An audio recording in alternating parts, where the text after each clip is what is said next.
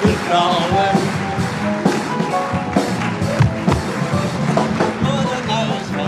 Een elk persoon heel gezellig in de omgang zo normaal en zo gewoon.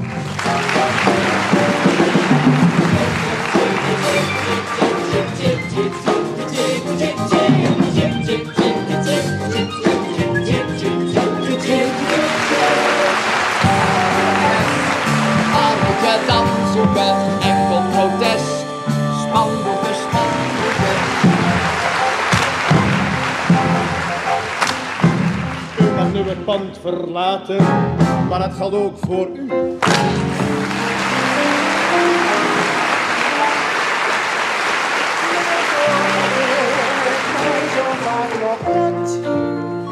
Op het nippertje gered. Ik ben in door een gat, door een gat met gat gerat. Ik ben In door een gat.